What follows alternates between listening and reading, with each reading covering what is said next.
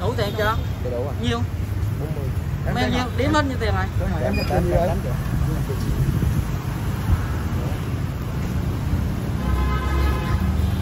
rồi.